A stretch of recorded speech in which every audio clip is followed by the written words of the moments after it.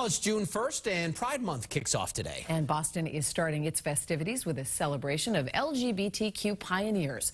WBZ's Brandon Truitt is live on City Hall Plaza tonight. Brandon? Hey, Lisa and David. So the kickoff is happening behind us. We just heard from the mayor and the governor, but a lot of the attention is on this Portraits of Pride installation here on City Hall Plaza. I want to show you what this does. These are larger than life pictures of people in the greater Boston area who have made a lasting impact on the LGBTQ community. And I'd like for you to meet one of them.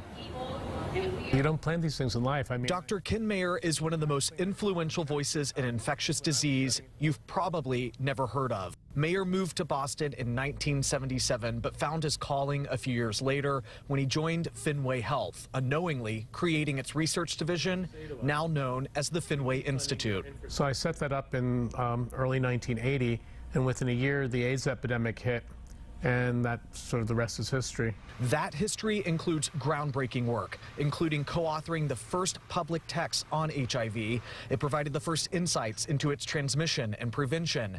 Mayer also collected the first sample of HIV for testing right here in Boston. We actually sent the first specimens to the NIH to be tested for what came to be known as HIV. At the time, it was called HTLV3. And David Scondras? He was studying it before it even had a name. It took 14 years to go from outbreak to medical breakthrough. Mayer lost friends along the way while feeling pressure to find a cure. It felt like a war zone. People who were in the middle of it felt like they were, were in a fight because the, there were people dropping right and left, and you didn't know who was going to get sick. Mayer is being recognized for his decades of work as one of this year's Portraits of Pride. It's a great honor to be recognized by the community, and some of the other people are uh, among my heroes and heroines, so it's really a good company to be in.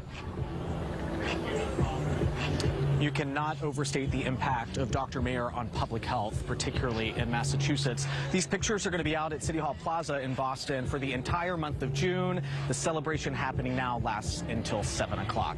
We're live in Boston. Brandon Truitt WBZ News.